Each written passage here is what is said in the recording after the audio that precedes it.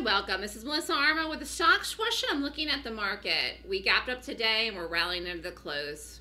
And we had a massive sell off this morning. I mean, you, you know, you could have got caught in the wrong direction, this up or down in the last couple of days, either way. What a very, very, very whippersnapper wink. Let's just go back to Monday and, and, and look at each day as it comes. So we gapped up on Monday and we were close to the high. So we were at 390.92 we were like three bucks off the previous high. And I thought we are going to go right up to the high and get over the high this week. And I felt very good about the follow through. And then the next morning, we did gap up, but we didn't follow through. So that wasn't good.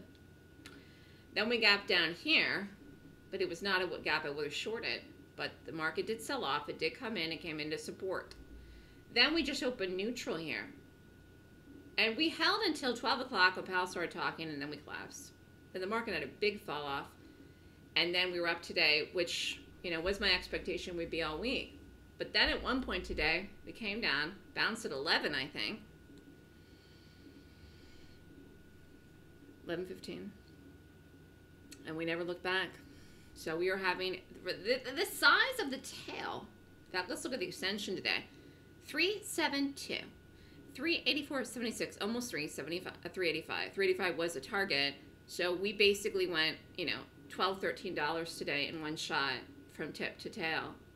And if we had done that at any given point, even yesterday, if we had done it and then followed through today, you know, we would have been back up to the high. So very, very late in the week rally. And, you know, the way that this market has been, of course we look higher next week.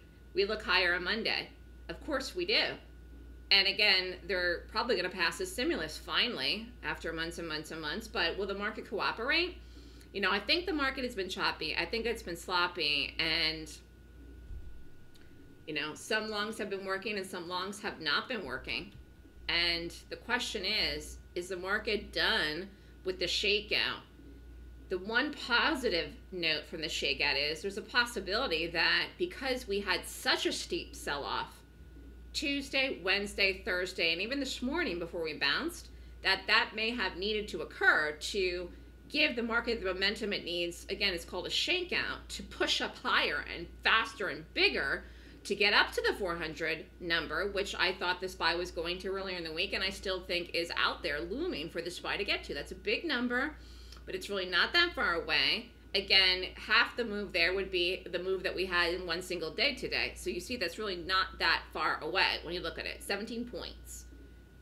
So that's what I'm watching to see if the market's going to have some substantial follow through. Follow through to the upside.